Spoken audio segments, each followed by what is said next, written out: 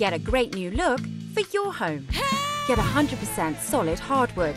Get furniture that's as good on the inside as it looks on the outside. And get it for less than you might think. Oak Furniture Land. No veneer, no chipboard, no compromise.